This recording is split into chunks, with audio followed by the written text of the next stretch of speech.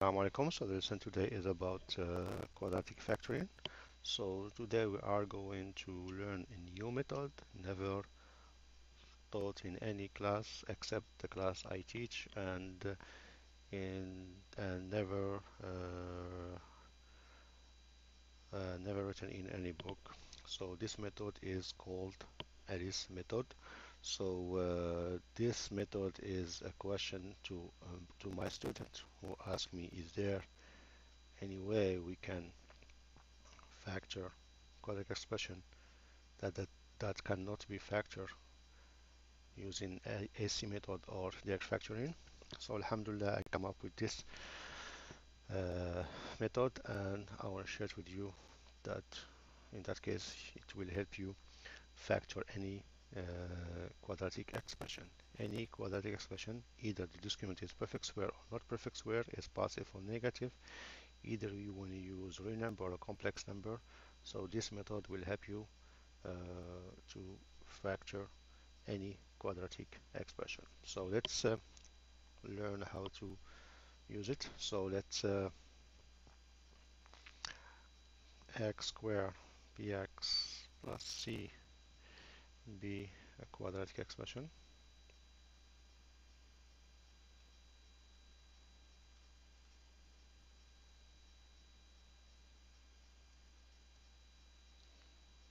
So to factor this expression using Elis method, so uh, using to factor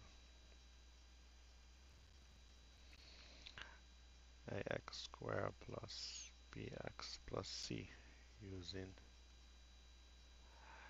this method. So in fact we try to uh, find so we find we try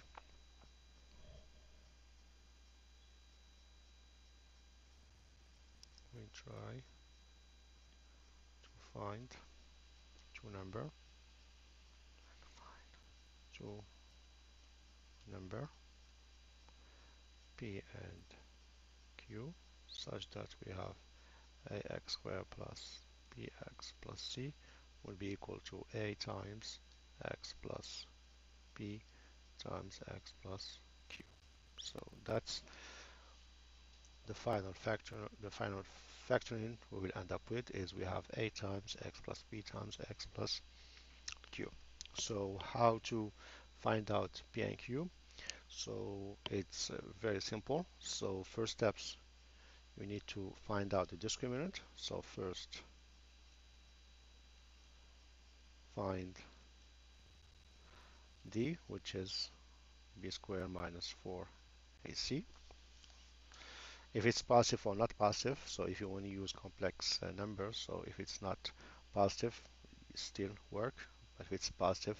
If you want to use a real number so it must be greater or equal to zero. So for real number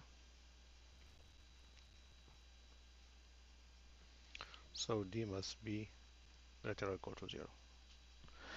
This is the first steps. You find out the discriminant. The second steps you solve the system. Second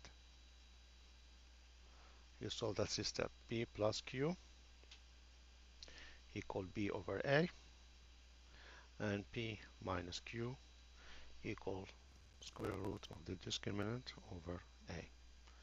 So when you find out those p and q, especially use elimination is uh, more easier. So use elimination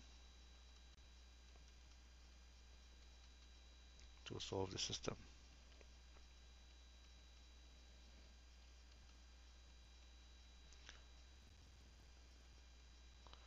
So you just need to add the first equations and second equations. You got P and uh, you add you subtract the first equation and the second equation to get Q. So after you find out P and Q, you just substitute them back into here and uh, get the answer. Now let's solve this by general case. So we have P plus Q equal B over A and uh, P minus Q equals square root of the discriminant over A. So if I add both equations so we end up having 2p equal b over a plus square root of the discriminant over a which means that I will have 2p equal b plus square root of the discriminant over a. So divide both side by 2 or multiply by half both side so this will cancel out. So p will be b plus square root of d over 2a and I do the same thing here. So what I do next I subtract. So p plus q equal b over a and p minus q equals square root of d over a. So what I do next I subtract. So what happened here I will end up having 2q equal b over a minus square root of d over a then make common denominator so b minus square root over d over a so equal to q then multiply both sides by half so this will cancel out so q will be b minus square root of d over a and here times by 2 now we end up having a x squared plus bx plus c is equal to a and we have x plus b which is b plus square root of the discriminant over 2a times x plus q which is b minus square root of the discriminant over 2a so you will end up having this uh, statement after you factor. So let's do an application and see some example. So let's do some practice.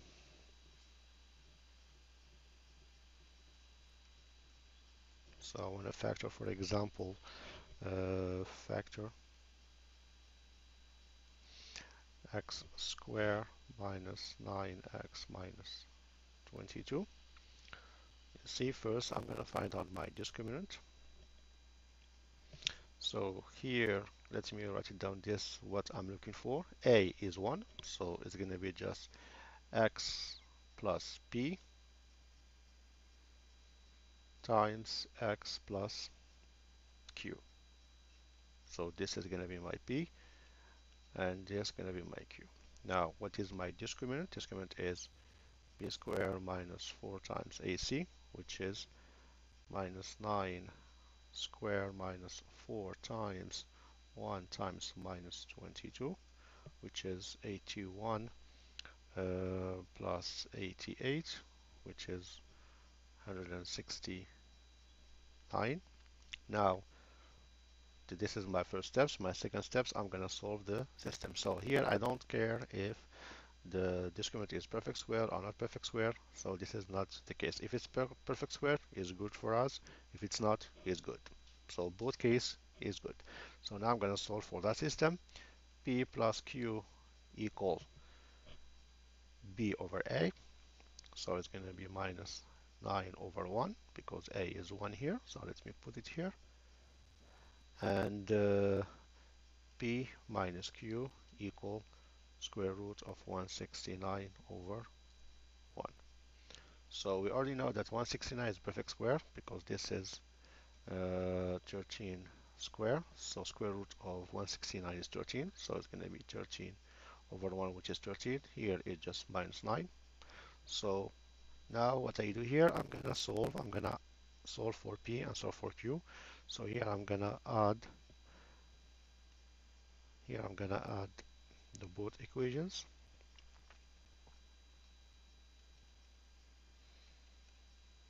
And here I will subtract both equations to get Q. So here if I add I will have 2p equal 4 so divide by 2 so p will be 2 here I subtract so I will have 2q equal uh, minus 22 so I divide by 2 both sides so q equal minus 11 so here as you see here I just substitute back. So I will have x squared minus 9x minus 22 equal x plus 2 x plus minus 11 which is minus 11 as, as you see is really simple. So let's pick another example. So suppose I want to factor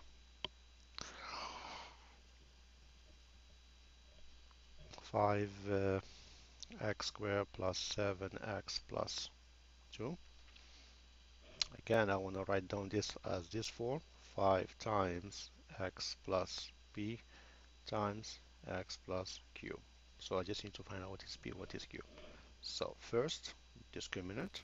So it's uh, b squared so b squared minus 4 times ac which is 7 squared minus 4 times 5 times 2 which is 49 minus 40 which is 9 and this is a perfect square which is 3 square. So now I will try to solve that system. P plus q equal 7 over a. And p minus q equal the square root of the discriminant over a which is the discriminant is 3 square. And this is the same thing as 3 over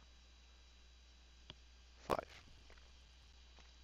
so now let me solve for p and q. So here I'm gonna add p plus q equals 7 over 5 p minus q equal 3 over 5 and here I have p plus q equals 7 over 5 and p minus q equal 3 over 5 so here I will subtract and here I will add. So here I will add here sub subtract so here I will get my p. So when we add q disappears so I get 2p equal 10 over 5 which is in fact just 2 then divide both sides by 2 so p will be equal to 1 here when I subtract I got 2q is 4 over 5 multiply both sides by half so q will be if I simplify here this is 2 so it's going to be 2 over 5 now what I do is just substitute uh, p and q into the uh, equations. So I will end up having let me do it here.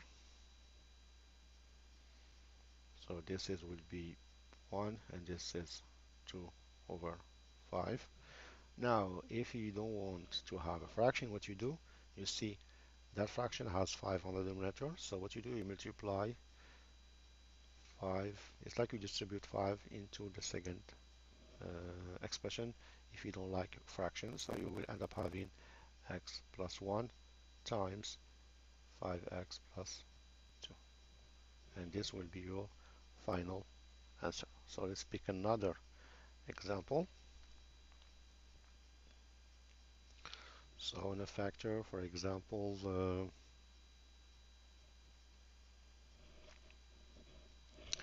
three x squared minus x minus 5 so here I try to make this as 3 times x plus p